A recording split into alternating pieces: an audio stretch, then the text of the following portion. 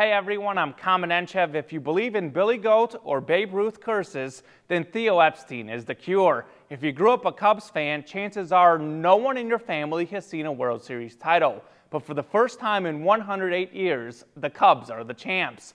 Plenty more playoff magic going on locally, so let's get started with soccer. Naperville North looking to make the state semis for the first time since 2010 as the Huskies took on number one Morton. 15th minute of the second half, still scoreless, and North's Tommy Welch keeps it that way with a huge save.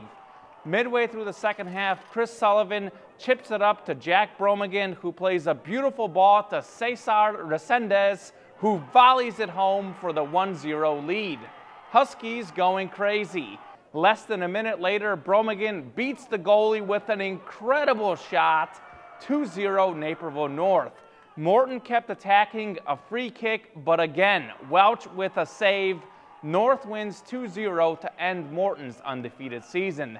The Huskies advance to the state semis. More soccer, Benet hasn't lost since the end of August. The Red Wings looking to beat Quincy Notre Dame and make the state semis. Just five seconds in, Devin Martinez with a beautiful ball. Connor Moat controls it and buries it home. 1-0 Red Wings. Midway through the first half, Brian Gold with a big goal kick, which takes several good Benet bounces and eventually finds the speedy Ben Kelly, who races in and places it past the goalie for a 2-0 lead. 49th minute, Connor Fenton's throw-in headed once and a second time by Kobe Cap to cut the Benet lead in half. Raiders running out of time, a corner and a shot over the net, Benet wins 2-1, making the state semis for the first time since 2001. On the volleyball, the Benet girls have won three of the past five state championships as they took on Marist in the sectional semis. Benet was the higher seed, but Marist hosted the sectional. The Red Wings already beat the Red Hawks twice this year, but all Marist as Megan Krasowski with the powerful kill. Marist takes the first set 25-12. Tight second set, Benet down 23-20, a crazy point, some great Marist defense, but eventually Sarah Nielsen's 19th assist sets up Veronica Snelling for the kill. BA down just two.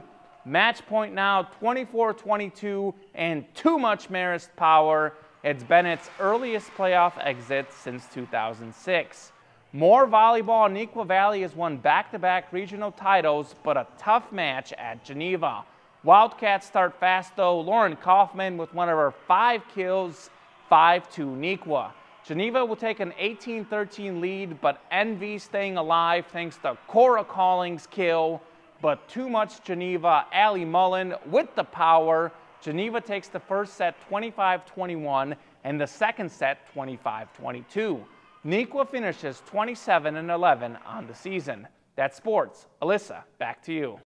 Thanks, Kamen. Be sure to tune in this weekend to see which local teams bring home some state hardware in soccer and cross country.